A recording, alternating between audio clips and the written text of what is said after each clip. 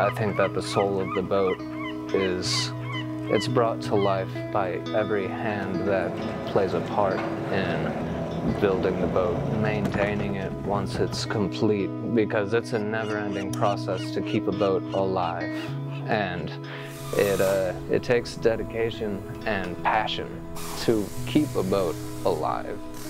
Well, I think that this program is incredibly important because it's geared towards allowing individuals that normally wouldn't have the chance to step into the marine industry to have that opportunity. Because typically I feel like this industry you have to know somebody to get hired somewhere. You have to grow up around boatyards. You have to have some sort of experience to kind of get in. And this program is just saying hey we don't care what kind of experience you have. You don't you if you never picked up a tool in your life, that's cool. If you're interested in this and you're passionate about it, like let us open the door for you and like come on in. and um, it's it's helpful for me because like I I don't have any experience in the maritime trades at all, and this is just a wild dream of mine that I've just decided to chase. I think like everybody else, I want to be financially stable and I also want to enjoy uh, the work that I do. And this is such a special opportunity for someone uh, like me, and I want to take advantage of it fully. And so I guess that's what drives me is just being able to make a life for myself like my parents made for, for me and for themselves. And I'd like to be stable and happy, just like everyone else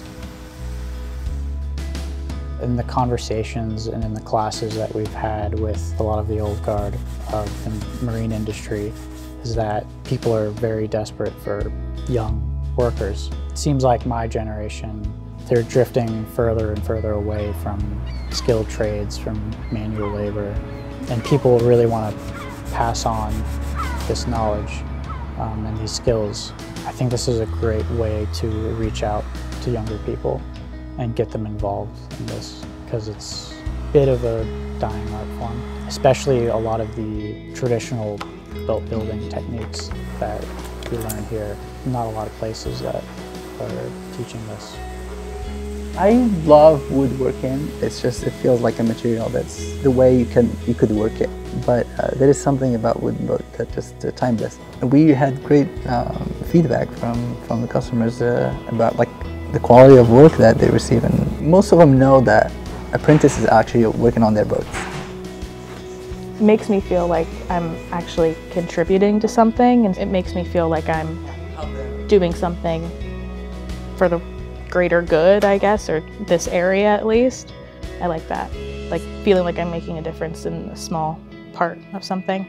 For people like me who don't come from a background of lots of money if, if this wasn't a paid apprenticeship, I wouldn't be here because I have to pay my own way and going to school for the maritime trades is historically very expensive. And that's a big thing that keeps people out of it. And there's very few programs, I actually don't know of any other programs currently that are paid apprenticeships in this field that exist in the United States. So it's a very unique one in that regard. And um, it's, it's about accessibility and getting people that wouldn't have the chance otherwise to follow their passions and their dreams like this to get in and do it. Spaulding has a really incredible apprenticeship program. Not many of these exist in the US right now. Um, and they can only, this can continue being a thing with support. Um, but if we don't have that support, then you know, it can't keep happening. And I find it so valuable. All my coworkers also find it super valuable. And this is a jumping off point for the rest of our lives.